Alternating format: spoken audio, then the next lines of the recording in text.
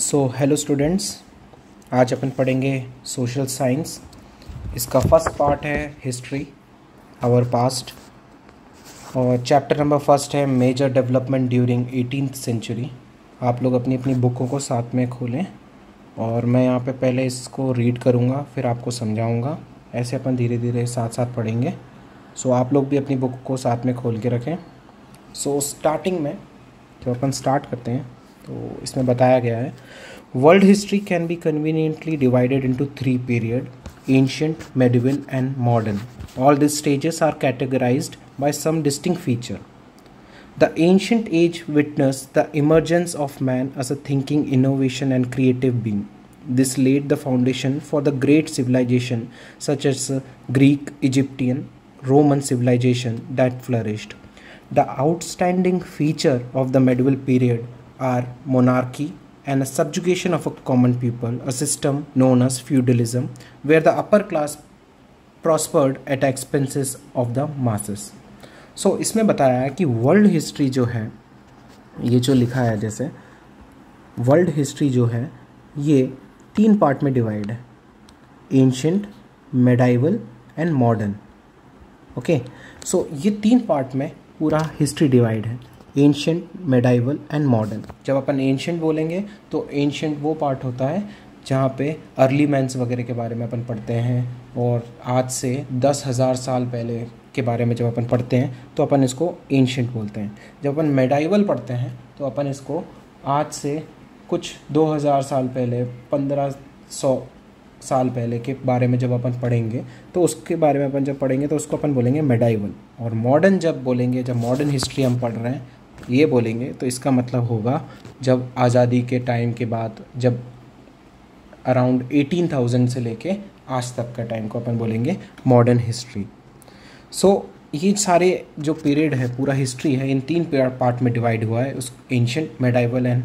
modern so इसमें जो stages हैं वो अलग अलग तरीके से डिफाइंड है। इसमें बताया है कि अलग अलग कैरेक्टराइज्ड हैं।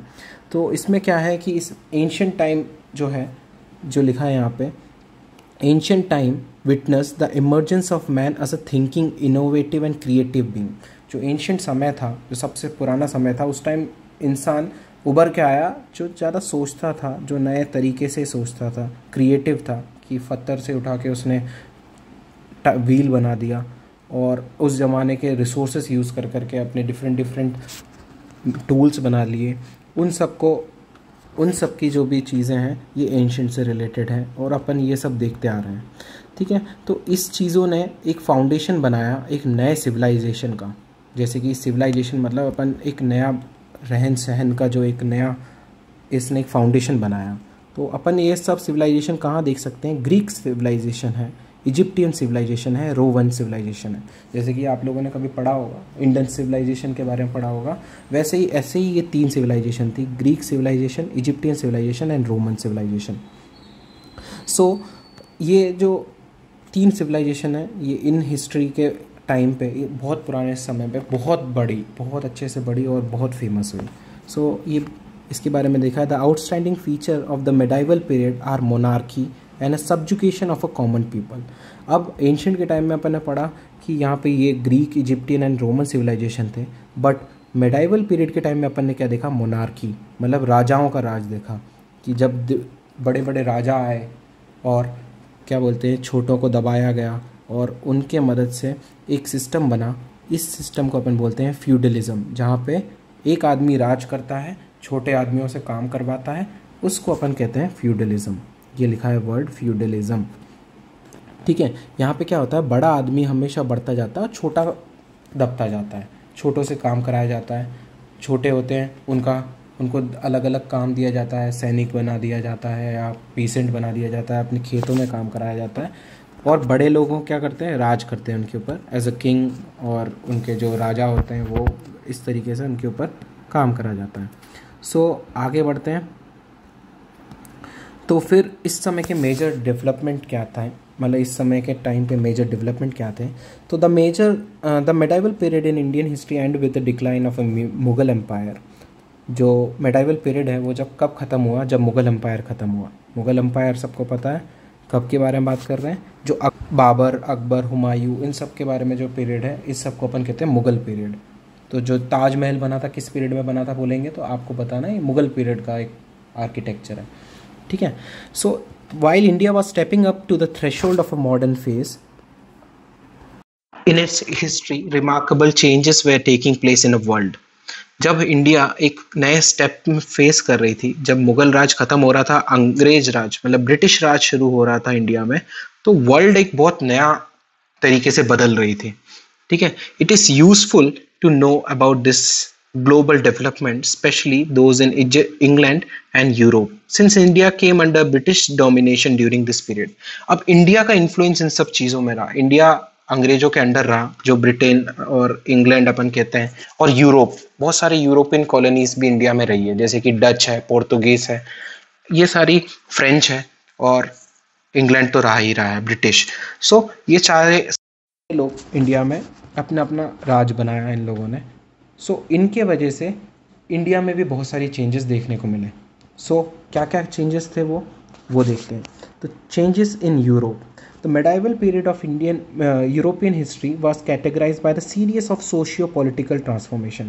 So अपन यदि अपन को medieval period देखना है यूरोपियन हिस्ट्री अब यूरोप कहाँ है आपको पता लगाना है? तो आप जैसे स्क्रीन पे देख रहे हैं ये जो मैप आपको सामने दिख रहा है एक एशिया है। एशिया मतलब जहाँ अपन रहते हैं ये यूरोप है। ये नॉर्थ अमेरिका है ये साउथ अमेरिका है और ये अफ्रीका है। ओके? सो ये पूरा यूरोप है। तो आप एक एक चीज़ देखो यहाँ पे सब में लिखा हुआ है कौन सा कॉन्टिनेंट क्या क्या है। सो so, यूरोप की जब बात करेंगे तो यूरोपियन हिस्ट्री जब बोल रहे हैं तो अपन इस एरिया मतलब यूरोप वाले एरिया की हिस्ट्री के बारे में बात कर रहे हैं। ठीक है? Change was in the air in art literature science and politics यहाँ पे जब चेंजेस की बात करते हैं तो जब समय बदला तो धीरे धीरे हर तरीके से इंसान को चेंज देखने को मिला कि हर जगह चेंज आया। पहले इंसान दीवार पे पेंटिंग बनाता था वॉल पेंटिंग बनाता था केव में पेंटिंग बनाता था, आपने देखा भीम बेटिका में केव पेंटिंग है। फिर धीरे धीरे उस पेंटिंग में कितना सुधार हुआ कि आपने देखा, ये जो आपके फ़ोटो देखो साइड में, ये आप सोच सकते हो, पंद्रह सौ मतलब फिफ्टीन ज़ीरो एट में एक पेंटिंग है। इस पेंटिंग में आप खुद देखेंगे तो आपको समझ में आएगा कि कितना पेंटिंग डेवलप हो चुका था इस समय तक। इस समय तक लोगों में कितना एक नया तरीके का टैलेंट डेवलप हो चुका था इसके बारे में यहाँ पे बात हो रही है। सो so, और एक दिखाया यहाँ पे। The crusade the holy war between the Christian and a Muslim had far reaching effects on European feudal societies एक एक क्रूसेड था जहाँ पे एक वॉर एक क्रूसेड जो लिखा है यहाँ पे द क्रूसेड इसका मतलब है एक वॉर था। इसमें क्रिश्चियंस का वॉर था मुस्लिम से सो। So, इस वॉर ने भी पूरे यूरोप को बदल के रख दिया। So most important impact the most important impact was the expansion of trade that resulted from the contact between Europe and Islamic empire. तो यूरोप एक जगह था। अब इस्लामिक एम्पायर कहाँ था ये बात हो रही है। तो आप देखोगे आज के टाइम पे बहुत सारे मुस्लिम कंट्रीज़ हैं जो सऊदी अरेबिया जो आज कंट्री है। और उसके ऊपर बहुत सारी कंट्रीज़ है ईरान इराक ये सब पहले अलग अलग नहीं हुए थे। एक एम्पायर था बहुत बड़ा, Mughal empire O sorry Islamic empire तो ये इसराइल फ़िलिस्तीन ये सब मिला के एक बहुत बड़ा एम्पायर था, जो आज डिफरेंट डिफरेंट पीसेस में टूट के सऊदी अरेबिया बन गया दुबई बन गया यूएई बन गया सो इन सब पीसेस में डिवाइड हो चुका है। तो इसके बारे में दिया है कि यूरोप इनके साथ ट्रेड बढ़ गया। इस समय में जब यूरोप का ट्रेड इस्लाम, इस्लामिक एम्पायर की तरफ़ बढ़ गया। The major outcome of this trade was the emergence of independent train network इस समय का मेजर आउटपुट आउटकम क्या था? कि यहाँ पे ट्रेड बहुत ज़्यादा बढ़ गया इंडिपेंडेंट ट्रेड भी बढ़ गया और यहाँ पे रिज़ल्ट क्या हुआ? मर्चेंट और आर्टिशंस बहुत सारे बढ़ गए। मर्चेंट क्या होते हैं? जो आदमी नए नए चीज़ों को सेल करता है। मतलब सेल कोई आदमी किसी चीज़ को बेचता है तो अपन उसको मर्चेंट बोलते हैं। ठीक है बिजनेसमैन होते हैं मर्चेंट होते हैं। आर्टिशंस क्या होते हैं? आर्टिशन मतलब आर्टिस्ट लोग। तो आर्टिस्ट सिर्फ़ बनाने ड्राइंग बनाने पेंटिंग बनाने वालों को आर्टिस्ट नहीं बोलते। म्यूज़िक वाले को भी आर्टिस्ट आर्टिस्ट बोलते हैं। कोई पोएम लिखता है, उसको भी आर्टिस्ट बोलते हैं। कोई डांस करता है, उसको भी आर्टिस्ट कहते हैं। तो इन सब चीज़ों में यहाँ पे एक बहुत बड़ा अपन को चेंज देखने को मिला। सो so, एक सबसे बड़ा इस दुनिया का यूरोप में चेंज देखने को मिला उसको अपन कहते हैं द रेनाइसेंस इसका नाम है द रेनाइसेंस ओके आप पढ़ोगे तो ये बहुत बड़ा एक यूरोप में चेंज था द रेनाइसेंस तो ये चेंज क्या था? The middle age 400 hundred to fifteen hundred C ended in Europe with the growth of Renaissance a cultural movement that began in Italy from its birth place in Florence it went to the cover it went on to cover the rest of Europe by the 16th century. Renaissance means rebirth. Renaissance का मतलब क्या है rebirth. As such, it saw the rebirth of classical idea and theme that had long dormant in Europe. अब देखिए the middle as के बारे में जो बात कर रहे हैं ये 400 टू 1500 सी पे हुआ है अभी सी ही बोलोगे तो क्या बोलेंगे इसको अपन बोल सकते हैं करंट एरा क्राइस्ट एरा और आप इसको ये मान लो कि अभी जो आपका टाइम चल रहा है तो करंट अभी क्या चल रहा है? 2021 तो अपन बोलेंगे 2021 सीई करंट एरा ओके या क्राइस्ट एरा तो ये इसको एक डिनोट करने का टाइम है। तो मिडिल एज कब था? 400 से लेके 1500 सी तक को अपन मिडिल एज बोलते हैं। ठीक है, ये मिडिल एज था, इसको जैसे ही मिडिल एज ख़त्म हुआ रेनाइसेंस स्टार्ट हुआ वर्ल्ड में। अब रेनाइसेंस एक, मैं बताता हूँ क्या है। अब रेनाइसेंस इसमें आपको धीरे धीरे आपको समझ में आएगा। पहले आप ये देखिए तो मैं आपको समझाता हूँ। The middle age 400 to 1500 C ended in Europe with the growth of Renaissance अब इसमें क्या हुआ? रेनाइसेंस का ग्रोथ हुआ इस टाइम में मिडिल एज ख़त्म होते से ही रेनाइसेंस का ग्रोथ होने लगा। अब रेनाइसेंस क्या है? कल्चरल मूवमेंट था जो लिखा है यहाँ पे कि रेनाइसेंस एक कल्चरल मूवमेंट था जो इटली से शुरू हुआ। इटली एक शहर है यूरोप में। यूरोप आपने जैसे अभी देखा था मैप में यूरोप में एक शहर है इटली नाम से। सो so, उसका यूरोप और उसी इटली में एक शहर है जिसका नाम है फ्लोरेंस इटली एक कंट्री है कंट्री के अंदर एक शहर है फ्लोरेंस सो so, इससे फ्लोरेंस में इसका जन्म हुआ। यहाँ पे इटली बहुत बड़े बड़े आर्टिस्टों का एक कंट्री था, जहाँ पे बहुत दुनिया के सबसे बेस्ट आर्टिस्ट रहते थे। माइकलो एंजलो ये जो आपको इमेज दिख रही है, जिसने ये इमेज बनाया, ये और उस ज़माने के बहुत सारे लोग थे जो उस ज़माने में इटली में रहते थे। तो एक अलग तरीके का इन्वायरमेंट था इटली में, जो आर्टिस्टों को बहुत प्रमोट करता था, कि वहाँ पे बहुत अलग अलग तरीके से आर्टिस्ट डेवलप हुए, आए तो यहाँ पे रहे। अब जब दुनिया में इनको यूरोपियन का कांटेक्ट हुआ अलग अलग जगह। जैसे इन लोगों ने जब इस्लामिक एम्पायर के पास पहुँचे इनने देखा यहाँ पे भी ज़रूरत है तो ये लोग दुनिया में फैल गए। ओके सो उसको बोलते हैं अपन रिनाइसेंस ठीक है? क्योंकि ये समय दुनिया में आर्ट का एक बहुत बड़ा डेवलपमेंट हुआ है। यहाँ पे आर्ट जितने भी दुनिया में जो भी आर्टिस्ट थे उन लोगों ने नई नई चीज़ें सीखी यूरोप से। सो so, इसलिए अपन इस समय को कहते हैं द रिनाइसेंस द रीबर्थ ठीक है? Renaissance means rebirth. As such, it saw the rebirth of a classical idea and theme that had long been dormant in Europe. So, Renaissance actual में क्या था कि यूरोप में जो इतने साल तक जो जो आर्ट था जो ख़त्म हो गया था उसका एक रीबर्थ हुआ मिडिल एज के बाद ये जो मिडिल एज यहाँ पे लिखा है 1500 के बाद इसमें एक चेंज आया यहाँ पे यूरोप में डिफरेंट डिफरेंट जगह पे अपन को नए नए आर्टिस्ट मिले सो जो बहुत साल से ये चीज़ें ख़त्म हो गई थी, उसका क्या हुआ? रीबर्थ इसलिए अपन कहते हैं इसको रिनाइसेंस अब आर्ट क्या था? ये आर्ट इस दुनिया में आप यदि आर्ट बोलते हैं क्या है तो आर्ट का मतलब सिर्फ़ ड्राइंग पेंटिंग नहीं होता है। कोई आदमी गाना गाता है, कोई आदमी सॉन्ग होते हैं, वो भी एक आर्ट होता है। किसी का गाना गाना एक, गाना गाना एक तरीके का आर्ट होता है। सिंगिंग एक तरीके का आर्ट होता है। पोएम एक तरीके का आर्ट होता है। तो अलग अलग तरीके के आर्ट्स होते हैं, ठीक है? तो इन सब का एक तरीके से रीबर्थ हुआ है यूरोप में। कहाँ पे? इटली में। और किस शहर में? इटली के फ्लोरेंस शहर से ये सब कुछ शुरू हुआ। और इस डॉर्मेंट मतलब होता है जो चीज़ बहुत साल तक बंद रहता है, उसको अपन कहते हैं डॉर्मेंट, ठीक है? सो इसका मतलब क्या? लास्ट लाइन का such it was the rebirth of classical idea and theme that had long been lain dormant in a Europe मतलब ये एक क्लासिकल आइडिया का फिर से रीबर्थ है, जहाँ पे बहुत सारे आइडियाज़ थे जो उन लोग के क्लासिकल जो पहले ही यूरोप में बहुत फ़ेमस था, उसका फिर से पुनर्जन्म हुआ। उसको अपन, और जो बहुत साल तक डॉर्मेंट पड़े हुए थे मतलब बंद पड़े हुए थे, उसका फिर से जन्म हुआ। उसको अपन कहते हैं Renaissance okay so the in medieval Europe the church allowed very little freedom of thoughts to the individual This kind of suppressed environment inspired many people in Europe to think for themselves and to boldly question the authority of established questions. This upsurge of public sentiments to advance human knowledge was accelerated by Gutenberg printing press, whose impact gradually eroded the church, church stranglehold over literacy.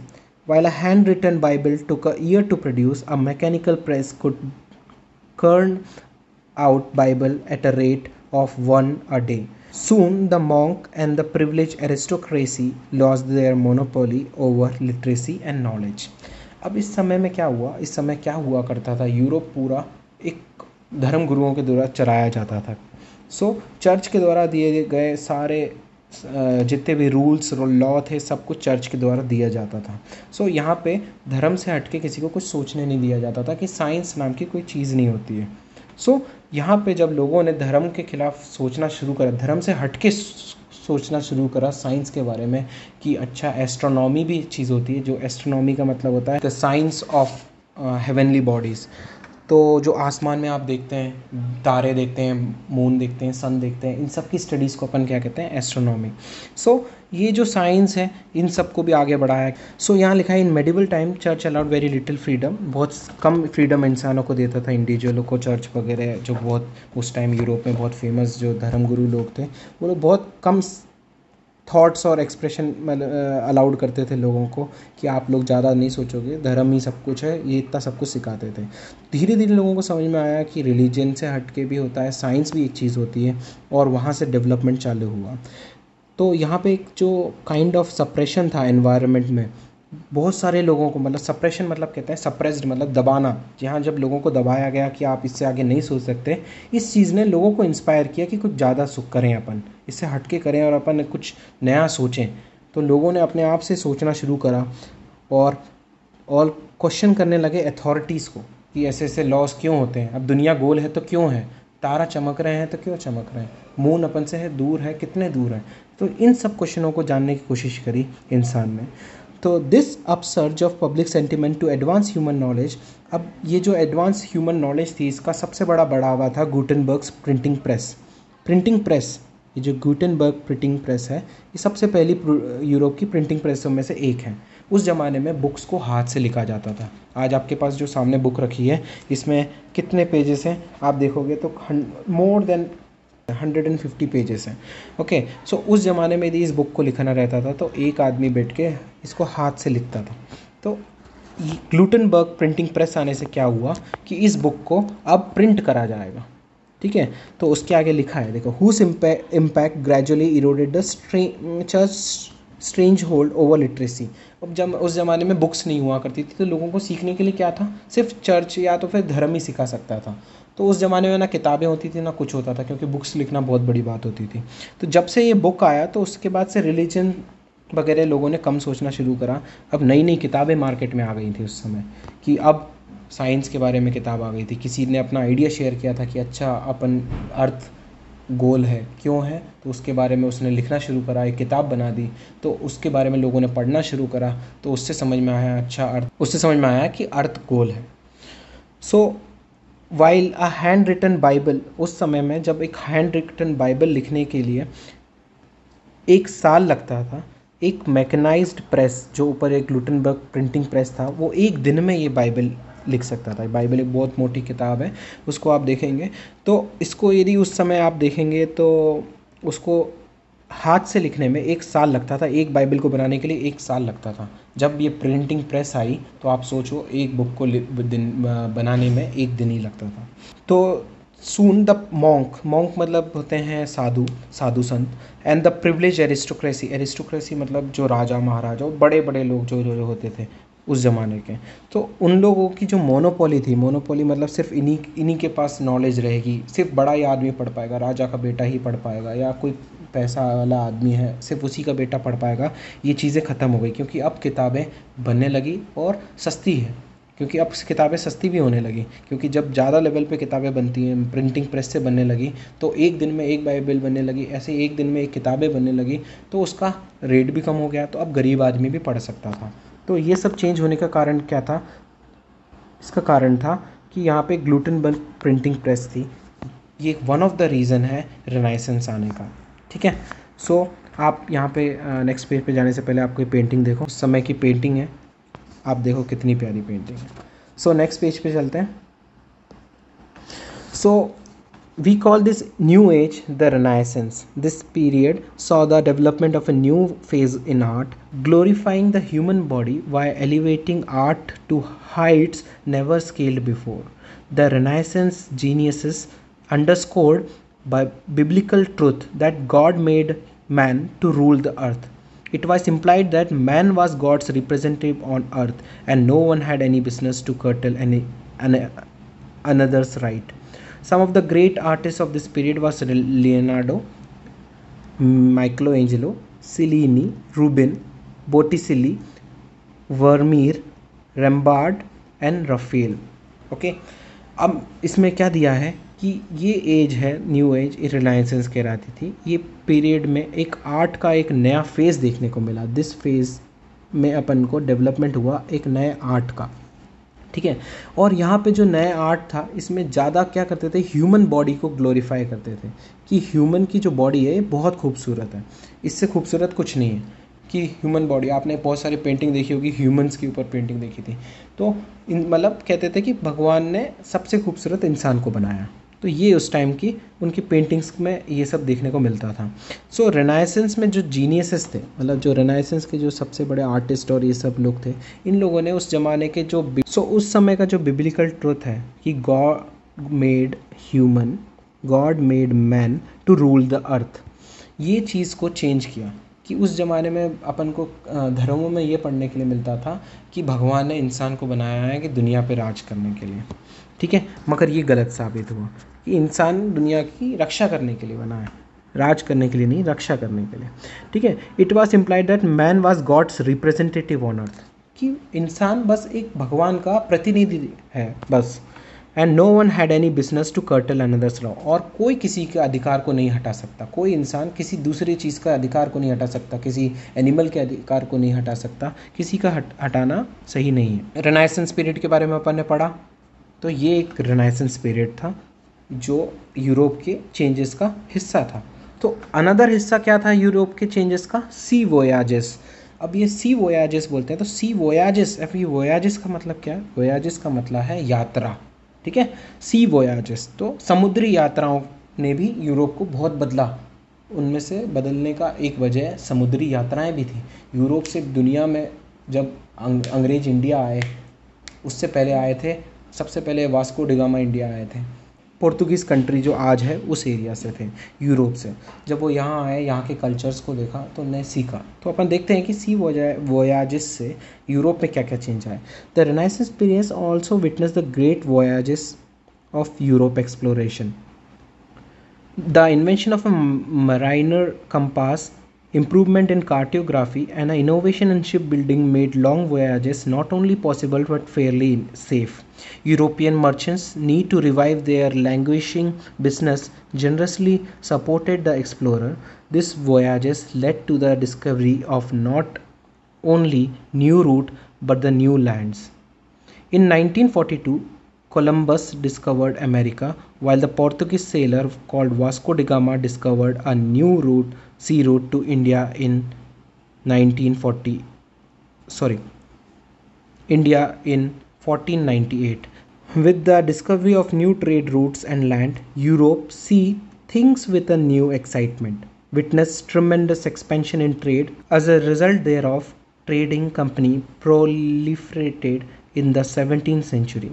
The East India Company was, was one such company that established trading outposts in many companies countries okay so इसमें दिया क्या है? So so, इसमें दिया ये है इसका first line का मतलब है द रिनाइसेंस पीरियड में अपन ने बहुत सारे चीज़ों को विटनेस किया जहाँ पे लोगों ने समुद्री यात्राएँ शुरू कर दी। किस लिए? नए नए डिस्कवरी और नए नए चीज़ों को खोजने के लिए। अब उस ज़माने में उनने अमेरिका के बारे में कोई नहीं जानता था कि अमेरिका नाम का एक शहर भी है अमेरिका नाम का एक कॉन्टिनेंट भी है। इंडिया नाम का कॉन्टिनेंट भी है, ये भी नहीं पता था। सिर्फ़ उन लोगों ने इतना पता था कि एक इंडिया नाम की एक जगह है जो बहुत प्रॉस्परस है। प्रॉस्परस मतलब बहुत डेवलप्ड मतलब बहुत सारी चीज़ें हैं इनके पास। खूब सारे मसाले हैं, खूब सोना है, सब उनको पता था, मगर उनको ये नहीं पता था कि ये कहाँ है। तो रेनाइसेंस जब पीरियड आया, जब इनको बहुत सारा चीज़ें एक्सप्लोर करनी थी, इनको दुनिया घूमना था तो उनने सोचा कि क्यों ना समुद्री यात्रा करें। तो इसमें इनका सबसे बड़ा मददगार बना मराइनर कंपास मराइनर कंपास मतलब क्या होता है? मराइनर मतलब होते हैं समुद्री। तो मराइनर कंपास मतलब कंपास होता है जो अपन हाथ में रहते हैं, जिसमें अपन को नॉर्थ साउथ ईस्ट वेस्ट का डायरेक्शन के बारे में बताता है और वो हमेशा नॉर्थ की तरफ़ पॉइंट करता है। तो अपन को उसके, उससे अपन को पता लगता है कि अपना दिशा क्या है, अपन कहाँ आगे बढ़ रहे हैं, किस तरफ़ बढ़ रहे हैं। जब उसकी खोज हुई तो समुद्री यात्रा करना बहुत आसान हुआ। ठीक है? और कार्टियोग्राफी जो कार्टोग्राफी यहाँ पे लिखा है इसका मतलब होता है मैप बनाना। मैप बनना चालू हो गया कि अपन समुद्री यात्रा कर रहे हैं तो वो लोग समुद्री यात्रा जब करते थे तो साथ ही साथ मैप बनाना भी लगते थे। सो so, काट बिना मैप के कहीं पे भी सफ़र करना बहुत मुश्किल था उस समय भी। तो जैसे ही मैप बना तो अब आसान हो गया। लोगों को पता लगा कि नए नए जगह जैसे कैसे जाना है कैसे कैसे जगह पहुँचने के लिए कौन से कौन सा रास्ता लेना सही रहेगा कितने दिन में पहुँचेंगे। और नए नए तरीके से शिप बिल्डिंग नए शिप तरीके से शिप बनने लगे, जो ज़्यादा सेफ़ थे, जो समुद्र में ज़्यादा टाइम तक रुक सकते थे, जो ज़्यादा टाइम तक ज़्यादा लोगों को ले जा सकते थे, ये सब चीज़ों ने बहुत हेल्प करी लंबी यात्रा करने के लिए। ओके तो फिर इससे क्या हुआ? यूरोप से मर्चेंट जैसे मैंने आपको बताया मर्चेंट मतलब क्या होता है? मर्चेंट मतलब होता है businessman so in businessman European businessman का दूसरी दूसरी कंट्री की तरफ़ रुक बढ़ गया कि इंडिया क्यों ना इंडिया चलते हैं? इंडिया में खूब सारे मसाले हैं उनको अपन अपनी कंट्री में लाएँगे बेचेंगे बहुत फ़ायदा होगा। इंडिया में बहुत सारा सिल्क है वहाँ से क्यों ना सिल्क लेके आएँगे और यहाँ बेचेंगे बहुत पैसा होगा। तो ये कर देख के उन लोगों ने सफ़र शुरू करा और अलग अलग कंट्री की तरफ़ चलने लगे। सो so, एक फिर यहाँ लिखा है कि this voyage led to the discovery of not only new route but a new land अब इस इस सफ़र से क्या हुआ? जब नए नए जगह सफ़र करने लगे तो नई नई चीज़ें मिलने लगी।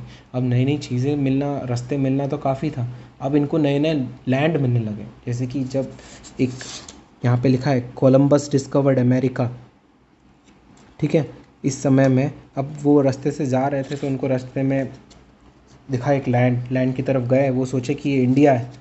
जब कोलंबस गए थे तो उनको ऐसा लगता था कि ये इंडिया है। वो गए इंडिया की खोज में थे, मगर वहाँ पहुँचे तो तब उनको पता लगा कि ये इंडिया नहीं है, ये तो हमने कुछ एक नई जगह खोज ली। तो फिर उसका उन्होंने नाम रखा अमेरिका ओके सो फिर ऐसे ही पोर्तुगीज़ थे जो सेल करते करते आए उन्होंने ढूंढा कि एक इंडिया नाम का देश है, कहाँ पे है? तो फिर उनको मिला एक रास्ता जिसकी मदद से वो इंडिया पहुँचे। कब? 1498 में। कहाँ पहुँचे? Vasco da Gama Calicut. मतलब यूरोप को बताया कि यहाँ पे एक इंडिया नाम की कंट्री है और उसमें जाना है तो उसका रूट ये है। तो कब किसने बताया? वास्को डिगामा ये कब पहले आए थे? 1498 में। अब इसके साथ यूरोप की एक नई बिज़नेस चालू हुआ कि अब क्यों ना अब इस जगह डिफरेंट डिफरेंट जगह जाया जाए और यहाँ यहाँ जाके लोगों को समझाया जाए कि हम यूरोप नाम की भी एक कंट्री है, क्यों ना आप आपका सामान हमको बेचो, हम आपको इतने रुपए देंगे डबल पैसा देंगे। सो so, ऐसे ऐसे करके लोगों को बताया गया कि आप इस हमारे साथ भी बिज़नेस कर सकते हो।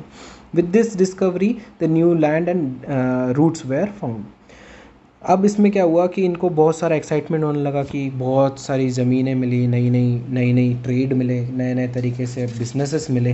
तो इसकी मदद से वो लोग खूब घूमने लगे और उनने डिफरेंट डिफरेंट कॉलोनीज़ बनाना शुरू करा। यूरोप ने इसके मदद से अलग अलग कंट्रीज़ पे पहुँचे फिर उनको पता लगा ये कंट्री तो अपन से कमज़ोर है। तो फिर उनने उस कंट्री पे राज किया। और उस कंट्री पे बोला कि क्यों ना मैं हम इस पे राज करके इसको अपन अपने कंट्री का एक पार्ट बना लेते हैं और इसका जो भी रिसोर्सेस हैं रिसोर्सेस मतलब जो जो चीज़ें हैं, जिसके पास गोल्ड है सिल्क है स्पाइसेस हैं, मसाले हैं, जिसके लिए जो कंट्री फ़ेमस है, क्यों ना हम इन सब का इनसे, इनके यहाँ आके लूट लें। और इन सबको क्या बोलते हैं? अपना बंदी बना लेंगे। तो इसको अपन कहते हैं कोलोनाइजेशन तो फिर ये लिखा है last line the east India company was one such company that was establish trading outpost in many countries एक कंपनी बनाई गई यूरोप में, उस ज़माने में, ब्रिटेन में, जिसका नाम रखा गया ईस्ट इंडिया कंपनी इसका काम था इंडिया में बिज़नेस करना। और इंडिया और इसके साथ साथ ही बहुत सारे जो आजू बाजू की कंट्रीज़ थी, सिंगापुर है और माल, मले, आज के टाइम पे जो अपन कहते हैं म्यांमार है, उसको बुरमा कहते थे। ये लोग ने इस डिफरेंट डिफरेंट कंट्रीज़ में राज किया। साइलॉन, जो आज के टाइम में श्रीलंका है, उसको साइलॉन कहते थे। तो साइलॉन, बुरमा और ऐसे ऐसे डिफरेंट कंट्रीज़ में सब पे राज किया। इंडोनेशिया, इन सब कंट्रीज़ में ब्रिटेन ने सोचा, क्यों ना यहाँ के रिसोर्सेज बहुत ज़्यादा है। ये लोग अपन से वीक है, अपने टेक्नोलॉजी से वीक है तो इन पे अपन राज करते हैं। तो ऐसे इनने अलग अलग कॉलोनीज बनाई। और क्या था। अगला चीज़ क्या है? भाई, पहले वहाँ पे रेनाइसेंस आया, फिर उन लोगों ने समुद्री यात्राएँ शुरू करी, जिससे यूरोप में चेंज आया। और क्या था? अब वहाँ पे रिफॉर्मेशन चालू हुआ। रिफॉर्मेशन मतलब होता है बदलाव शुरू करे उन लोगों ने। तो रिनाइसेंस का हर चीज़ से मतलब रिलायसेंस है, क्योंकि उस समय लोगों की मानसिकता हर तरीके से बदल चुकी थी। अब लोगों का हर चीज़ों को देखने का ज़रिया बदल गया था। अब लोग हर चीज़ को साइंस एंड टेक्नोलॉजी से भी देखने लगे थे, धर्म से हटा के चीज़ों को देखने लगे थे। कि अब चीज़ों को वो लोग सवाल पूछने लगे थे कि ये है तो ये है क्यों तो इस चीज़ ने इनको बदला और यहाँ पे इन लोगों ने रिफॉर्मेशन चालू करे कि बदलाव का समय है, अब चीज़ों को हम बदलेंगे अपने हिसाब से सो द रेनाइसेंस गेव ये वाली लाइन पढ़ते हैं the renaissance gave a massive fillip to the level of literacy and education while emphasizing the study of the ancient classics. This helped the pupil to raise their voice against the corrupt practice of the church the movement began as an attempt to reform the Catholic Church. अब यहाँ पे क्या हुआ उनके Europe में खूब सारे churches हुआ करते थे जो हर चीज़ के लॉ बनाते हैं जैसे मैंने आपको पहले बताया तो अब इनने सोचा कि अब क्यों ना इस सब इतना सब कुछ अपन ने सीख सीख लिया तो ये सब नियम कानून को भी बदलें अब अपन ये सब नियम कानून नहीं मानेंगे जो अपन को चर्च वगैरह से आते हैं। उस ज़माने के जो धर्म गुरुओं ने जो जो चर्च और अलग अलग जगह से जो नियम कानून दिए थे क्यों ना हम इसको बदलें? तो उसको उनने बदलने का काम किया तो वहाँ से ये रिफॉर्मेशन स्टार्ट हुआ। सो so, कब स्टार्ट हुआ? It begin in 1517 under the leader of Martin Luther of Germany when he called for reopening of the debate on a sale of indulgency. He led the Reformation which split Christianity into two branches. अब क्या हुआ एक बार पूरा पढ़ते हैं फिर बताता हूँ the Catholic who believed in a temporal and spiritual hegemony of a pope in Roman and a Protestant.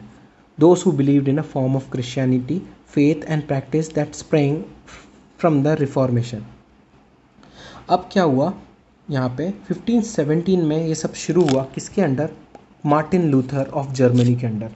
इनने बोला कि हम भाई धर्म को नहीं मानेंगे और धर्म उस समय में अलग तरीके से माना जाता था कि उस समय में कुछ लोग पोप को मानते थे। पोप एक धर्म गुरु होते हैं जो क्रिश्चियनों के धर्म गुरु क्रिश्चियनों के कुछ क्रिश्चियनों के धर्म गुरु होते हैं।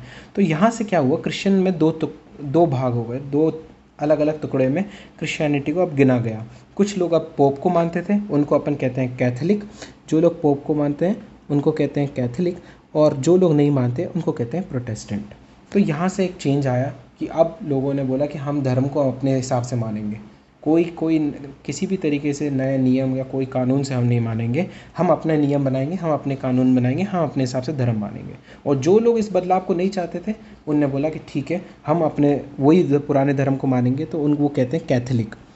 ओके सो वो लोग अपनी पुरानी बातों को मानते रहे पोप की बातों को मानते गए। और कुछ लोग कहने लगे हम नहीं मानेंगे पोप कौन है? हम उनके नियम कानून को नहीं मानेंगे। तो उनको उनका नाम हो गया प्रोटेस्टेंट सो so, ये एक चेंज हुआ।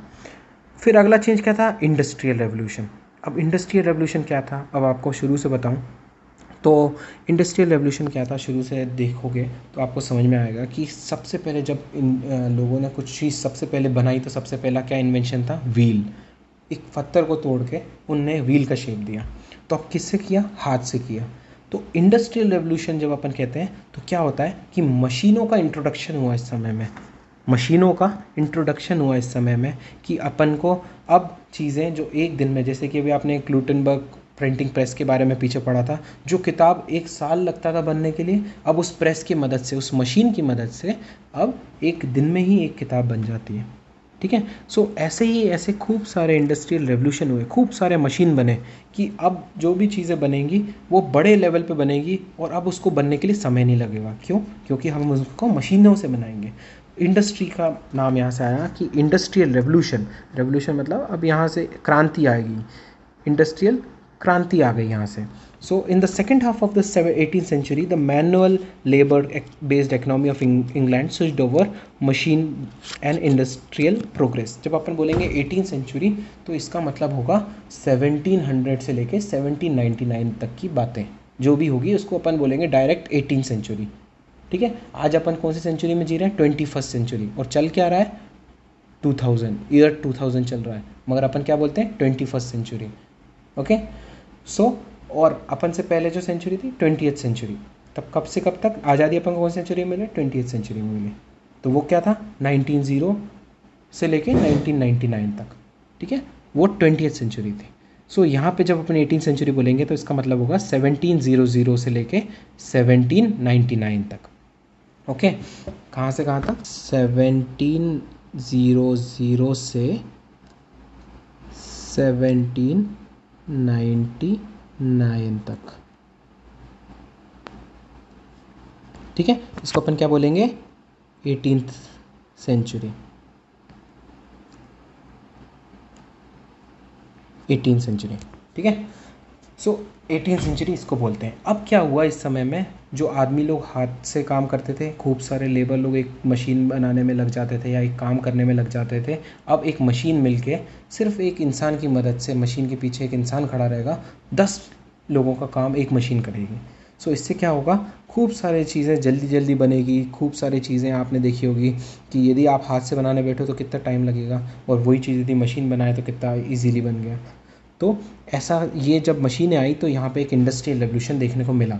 द मर्चेंट्स अब यहाँ पे अपन देखेंगे it began with the mechanisation of a textile industry before this switch over goods were all handmade the merchant supplied the piece and family with raw material and collected the finish product but a system proved unable to satisfy the growing growing demand for goods अब क्या हुआ? इस समय अपन सब कुछ हाथ से बनाने लग, पहले बनाते थे तो अब अपन सब मशीन से बनाने लगे मगर सबसे पहले अपन ने किस चीज़ में मशीनाइजेशन देखा? मशीनाइजेशन अपन सबसे पहले देखा टेक्सटाइल इंडस्ट्री में। कि आपने देखा था गांधी जी पहले चरखा चलाते थे जो चरखा था, उससे बनाया जाता था पूरे कपड़े, ठीक है? उस, जब मशीन आने से पहले। अब मशीन आ गई तो एक चरखा, जो दस चरखे के बराबर काम एक मशीन कर लेती थी। तो अब लोगों ने प्रेफर करा कि मशीन से बनाएँगे। तो सबसे पहले किसमें आया मशीन सबसे पहले आया मशीन टेक्सटाइल में। टेक्सटाइल में सबसे पहले मशीन्स वगैरह इंट्रोड्यूस हुई कि अब जो कपड़े थे, जो बनने में दो दिन लगते थे, चरखे से बनने में बहुत टाइम लगता था, अब उस चीज़ को बनने में मशीन के द्वारा जल्दी से जल्दी बना के एक दिन में दस कपड़े भी बनाए जा सकते थे, जबकि पहले दस दिन में एक कपड़ा बनाया जाता था। ओके सो बिफोर दिस सब कुछ मतलब लिखा है बिफोर दिस सब कुछ हाथ से बनाया जाता था। एवरी थिंग मतलब goods were made handmade the merchant supply the piece and family with raw material अब जो मर्चेंट थे, जो बिजनेसमैन थे, वो क्या करते थे? गरीब किसानों को रॉ मटेरियल देते थे। रॉ मटेरियल क्या होता है? जैसे कि कपड़े बनाने के लिए धागा, कपड़े बनाने के लिए कॉटन सिल्क ये सब चीज़ें मर्चेंट जो थे, वो पीसेंट्स को दे देते थे और इनको क्या करते थे? इनसे बोलते थे कि आप बनाओ और हमको फिनिश गुड दो। ठीक है? जल्दी जल्दी बनाने के चक्कर में। मगर इससे क्या होता था कि बहुत टाइम लगता था। इससे क्या होता था? बहुत टाइम लगता था। बहुत दिन में पीसेंट पीसेंट मतलब होता है किसान पुअर किसान, जो छोटे किसान होते हैं, उनको कहते हैं पीसेंट तो उन लोग को दिया जाता था तो ये लोग जब बनाते थे तो दस दस दिन में एक कपड़ा बनाते थे। तो ये जो सिस्टम था जो बिज़नेस मैनों को पसंद नहीं आया कि बहुत टाइम लगता है और कुछ कमाई भी नहीं है। तो इससे क्या हुआ? इस सिस्टम में जब इंडस्ट्रियलाइजेशन शुरू हुआ तो ये सिस्टम ख़त्म हो गया बिल्कुल और इसने बहुत हेल्प किया। ठीक है? So thus by the end of the eighteen century the rich merchant set up factories installed machine and started making mass product machine made goods This shift from a manual system to the machine system is known to be industrial revolution. Further inventions such as railway, the telegraph, electricity, etc., magnified both its impact and its ability to influence the future course of world history. England was the first country to develop the factory. England was the first country to develop the factory system. The use of machine first began in England. The invention of the spinning jenny, a new kind of loom, and steam power vastly increased the mechanized production of cotton cloth in England. Thus was laid the foundation of the of foundation of the industrial revolution that started in England and spread throughout the world. It continued today under the label of industrial development. So so, इसमें ये बताया गया है कि eighteen century के बाद जो rich merchant थे इन लोगों ने फैक्ट्री इंस्टॉल करना चालू कर दिया। अब अब बोला हम फैक्ट्री लगाएँगे जब एक मशीन है तो हम ऐसी दस मशीन लगाएँगे। तो एक मशीन दस इंसान का काम करते थे तो उन्होंने बोला हम दस मशीन लगाएँगे तो अब सौ लोगों का काम दस मशीन कर लेती हैं। ठीक है? सो so, इससे क्या होगा? दस गुना काम बढ़ गया। ठीक है? सो so, ये सब कहाँ शुरू हुआ? सबसे पहले इंग्लैंड में शुरू हुआ। इंडस्ट्रियल रेवोल्यूशन वर्ल्ड में कहाँ से शुरू हुआ? इंग्लैंड में शुरू हुआ। यहाँ से क्या हुआ? सबसे पहले फैक्ट्रीज मशीनों का बनना सबसे पहले इंग्लैंड में शुरू हुआ। और यहाँ पे जैसे कुछ फैक्ट्रीज़ का नाम जैसे कुछ एक इसका नाम लिखा है स्पिनिंग जनी जैसे ये एक मशीन का नाम है स्पिनिंग जनी जो कि मैंने आपको बताया, एक चरखा जो होता था, इसका एक, ये एक नया फॉर्म था, जो मशीनाइज्ड फॉर्म जो चरखे से और हाथ से बैठ के अपन दस दिन में कपड़े बनाते थे। ये स्पिनिंग जनी मशीन आने के बाद अब कपड़ों को बनाने के लिए घंटों में वो कब काम हो सकता है? जो काम महीनों में बंद होता था, वो काम अब घंटों में हो जाता है। ये स्पिनिंग जनी आने के बाद। एक मशीन का नाम है स्पिनिंग जनी ठीक है? A new kind of loom अब इससे क्या हुआ? एक स्टीम इंजन भी बनाया अब स्टीम इंजन की मदद भी ली गई कि इंसान कितना यूज़ करेंगे। इंजन बनाया गया। जो गाड़ियों में इंजन होता है, वैसा एक इंजन लगा दिया गया जिसका मदद से अपन को एनर्जी मिल सके और जल्दी जल्दी काम करा जा सके। सो so, इससे क्या हुआ कि बहुत सारे क्या बोलते हैं cotton cloth mechanised cotton cloth England में प्रोड्यूस हुए। ठीक है? इससे इंग्लैंड में क्या चालू हुआ? इंडस्ट्रियल रेवोल्यूशन कि आज तक दुनिया को ये पता ही नहीं है। दुनिया हाथ से कपड़े बना रही है। वो कपड़े महँगे मिलते हैं। क्योंकि यदि आप सोचो आप किसी टेलर के पास जाके बोलोगे, ये कपड़े सिलने में कितने दिन लगेंगे? दस दिन लगेंगे। तो उसके ज़्यादा पैसे लेता है वो।